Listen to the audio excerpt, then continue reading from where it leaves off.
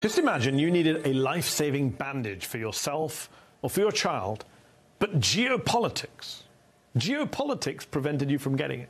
It sounds like a strange hypothetical, but that's exactly what's happening in Iran right now. Last month, the United Nations criticized a Swedish medical manufacturer for breaching their international responsibility when they decided to stop all their shipments to Iran, including specific bandages that only they make for people who suffer from a severe and life threatening skin condition that's known as EB and often affects children.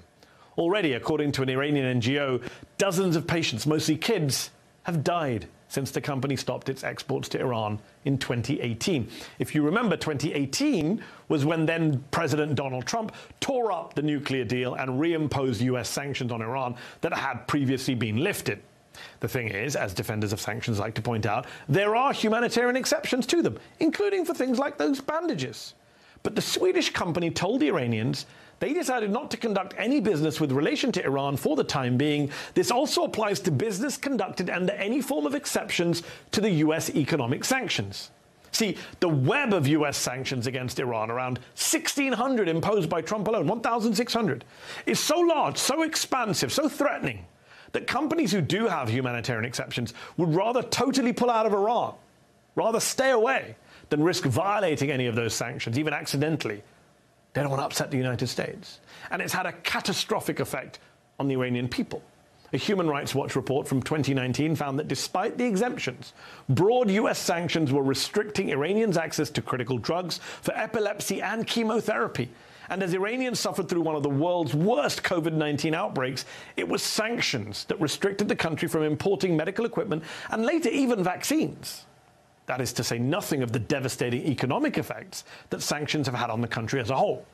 But it does help explain why Iran's new, more conservative administration has agreed to return to the nuclear negotiating table this week. Right now, in Vienna, Iran and world powers are in their latest round of talks to try and restore or negotiate a new version of the 2015 nuclear deal. But Iran's new government is still refusing direct talks with the US, which has resulted in the bizarre situation where the US negotiating team in Vienna receives readouts each day from European partners while sitting at a separate hotel in Vienna. Weird. At the moment, Tehran is insisting the US lift all its Trump era sanctions, something the Biden administration has so far not signaled it's going to offer. But how much should a new nuclear deal with Iran matter to the US? According to a new interview with a former Israeli military intelligence official, a lot. The former Intel research chief told the Times of Israel that the Iran deal, even with its flaws, had in fact rolled back the Iran nuclear program significantly more than any other clandestine activity aimed at doing the same, and that Trump's maximum pressure policy was a catastrophe. This former official also said Israel's anti deal policy has been a failure.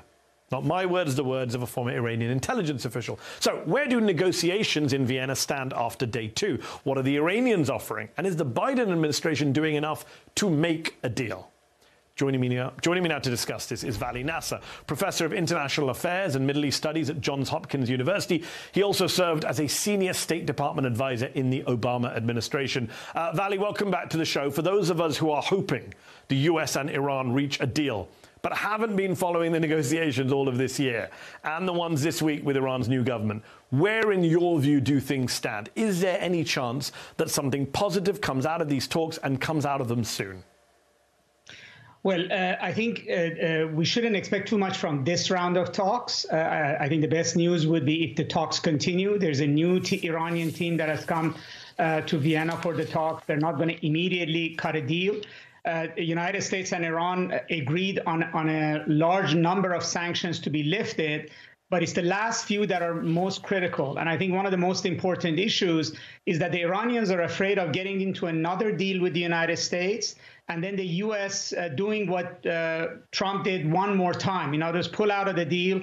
And this time, what, if, if the United States comes comes back in, it, it will have abilities and powers to, to hurt Iran and to manage the deal uh, that Trump left behind when he left the deal.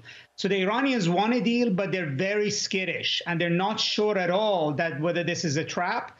And at the same time, the United States thinks that Iran has now so far advanced on its nuclear program that it, unless it agrees to some additional safeguards, the old deal is no longer enough to contain its program.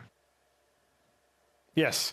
Uh, And just listening to you speak there, I don't know whether to laugh or cry at the realism you've injected into this conversation. That the really good thing we can hope for is that just the talks continue. It's such a low bar, but you're right to point it out. Um, Vali, we know how important cutting a deal is for Iran. The country's economy has been decimated by the U.S. sanctions regime. In, inflation is so high there right now that rents alone have risen nearly 50% in the last year. So that's Iranian, that's Iran's interest. What is the US's main interest to strike a deal right now? There's all this talk of a plan B and alternatives.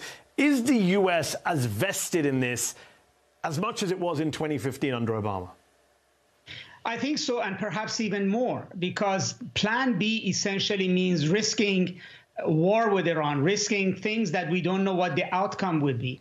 For an administration that's bogged down at home with divisions in Senate and Congress over the economy, over the pandemic, wanting to focus on China, the last thing that they want is another major crisis in the Middle East. And Iran's nuclear program is the single biggest point of crisis in the Middle East. It's the only issue which could get the United States into another forever war, into another prolonged, unknown catastrophe in the region. So even though the US talks tough, it too needs a deal. It too needs at least a minimal stability.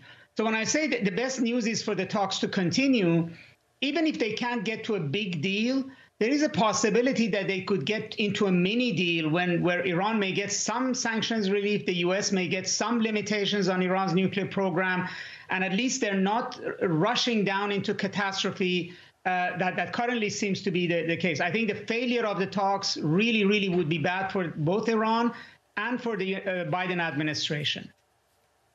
Vali, we talk a lot about Trump and what he did vis a vis Iran, uh, but you worked in the Obama administration from 2009 to 2011. And during that time, in 2010, Obama signed the Comprehensive Iran Sanctions Accountability and Divestment Act of 2010, considered the toughest sanctions ever passed by Congress. Among other things, the law was designed to penalize any company that supplied Iran with gasoline.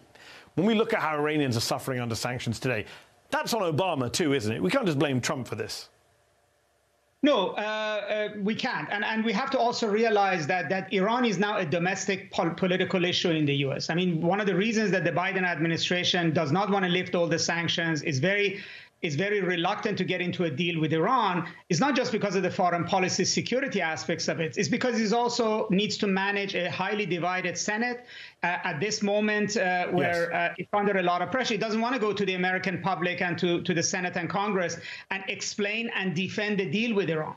So, so, so definitely, we're, we're, uh, Iran is one of those cases where our domestic politics is a huge hindrance, and and so that that Iranians actually point to that legislation by Obama as bad faith as you were negotiating to improve relations while you were also putting sanctions for no better reason than to assuage Congress. Yes, good point. And Republicans openly say all the time, uh, well, whatever this passed by Obama or Biden, will just reverse, which is an insane way for a country to make foreign policy or, you know, uh, do negotiations on the international stage.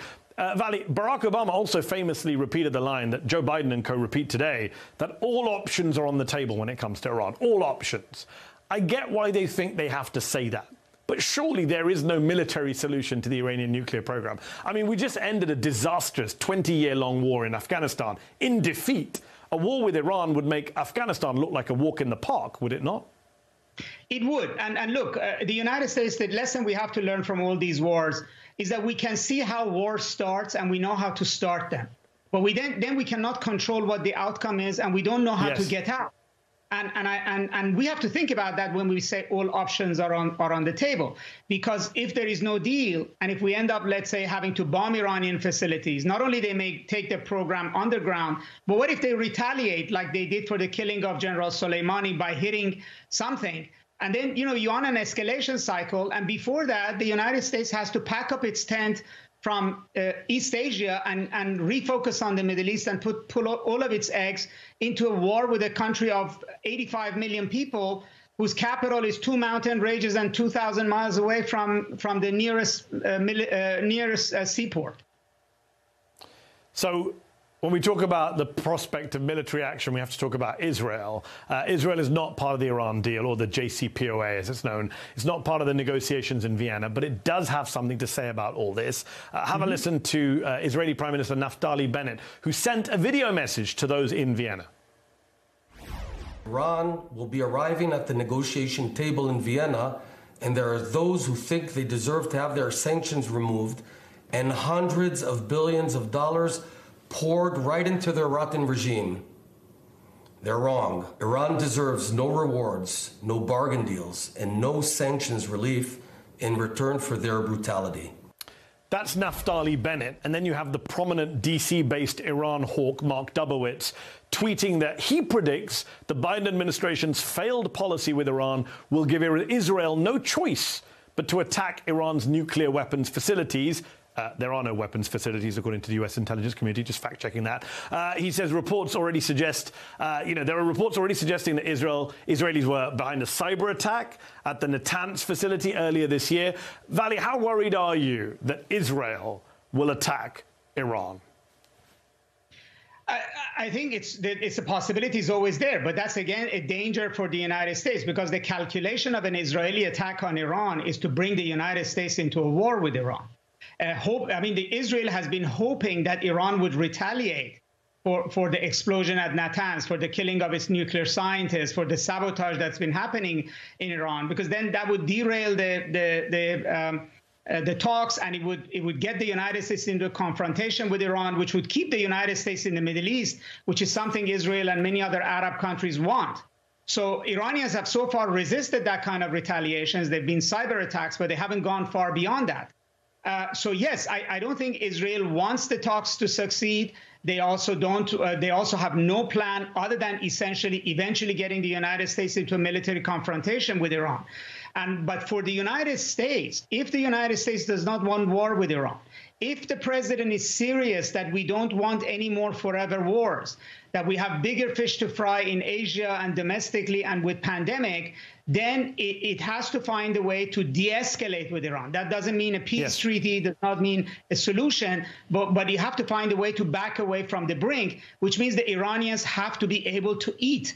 The money that yes. Mr. Bennett speaks to doesn't I... go to the leadership, it goes to people back away from the brink, I think, is sound advice. I hope people in the White House and State Department are still listening to you, Vali. Always appreciate you coming on the show. Vali Nasr, thank you.